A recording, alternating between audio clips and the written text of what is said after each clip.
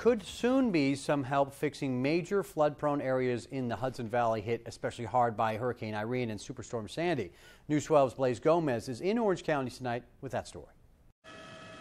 This is what acres of black dirt farms in Pine Island look like after the Wallkill River overflowed during Hurricane Irene. We all know that unless we do some important work there soon, we're going to keep having these superstorm events and we're going to keep getting flooded. On Monday, Congressman Sean Patrick Maloney said he's asked Governor Andrew Cuomo to help by getting the Wallkill River dredged. It's killing us. We're getting 100 year floods every other year. Frank Bialis has lived and farmed in Pine Island all his life.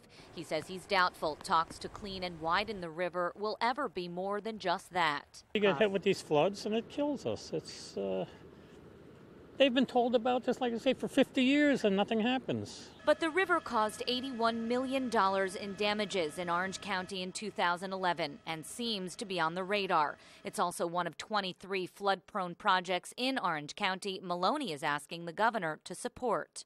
Glenmere Lake here in the town of Florida is on that list. The dam was damaged during Superstorm Sandy, and the idea is to repair and upgrade it enough to handle rains like we have now or worse. A stitch in time saves nine, making sure we do the work now when we know the superstorms are coming to prevent that kind of damage in the future.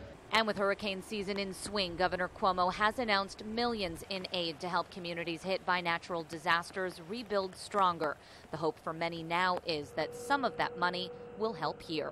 In Pine Island, Blaise Gomez, News 12. Well, more than $500 million in grant money is expected to be made available for hard hit areas in New York State.